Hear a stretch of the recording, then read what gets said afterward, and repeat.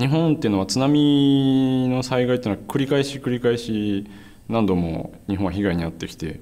え、今までにもものすごいたくさんの人が亡くなるような津波の災害がいっぱいあったんですけど今回まず一つは2万人近い人が亡くなっていることが一つ。それから、えーと、原子力発電所がメルトダウンを起こしてで多くの人がいまだに、まあ、30万人以上の人が避難生活を続けているということを考えると今まで少なくとも日本がここ100年間ぐらいの単位で見て、えーと、ほとんど、まあ、経験してないような大災害になってしまったなというふうに思います。えー、まず初めにこの震災では私が撮った写真っていうのはその津波が仙台の周辺の地域を、まあ、仙台近くの町を襲った時に津波を撮影してるんですね。でそれはなぜ撮ることができたかというと、えー、全く別の仕事で、えー、もっと北の青森というところまで行っていてそこから、まあ、南南に南下してきて仙台の近くに帰ってきた時でさらにそこから本当は東京まで戻る途中だったんですけどあの仙台の近くでその地震に遭遇したわけです。でそこでまあ、あの燃料もなくなったりして、えー、一度仙台空港に降りる降りてで再び飛び立った時にその津波が入ってきたですねでそれを撮影したわけなんですけども、えー、まず、えー、撮った時まず初めにもそんなにですねあの津波が来るまではこの地震がそんなに大きな地震だと思ってなかったんですね。それでまああの撮影を普通に地震の被害の撮影をしていたんですけどもその後津波が来るところを見たでですねあの非常に衝撃を受けてこんな津波が来るとは思ってもなかったっていう衝撃が一つとあとそこの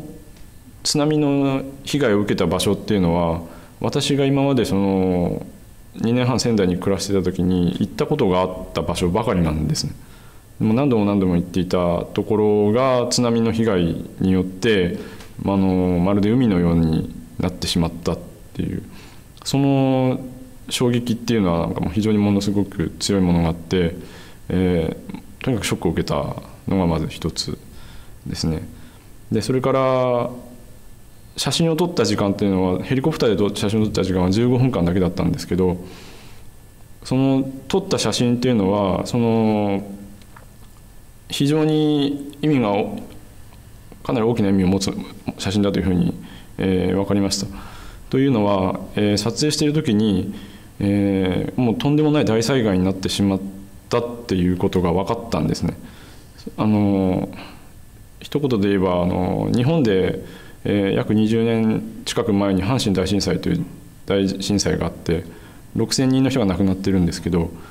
えー、それに匹敵するかそれ以上の人が亡くなってしまうような大災害になるっていうのを初めに見た瞬間に直感したんです。だから撮影した写真を、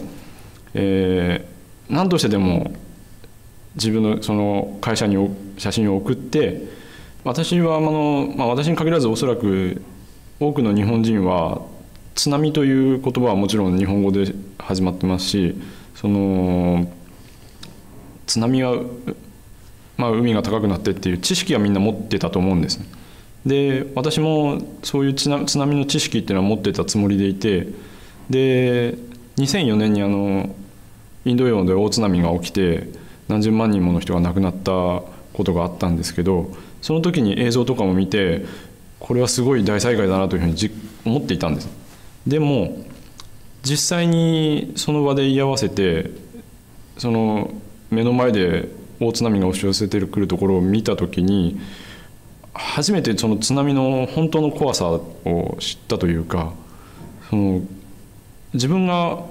イメージしていた津波と実際に見た津波っていうのが全然違ってたんですね。全ての家とかを水が流れてくるだけなのに家はあっという間にどんどん壊されていってでまあ車とかもどんどん流されていって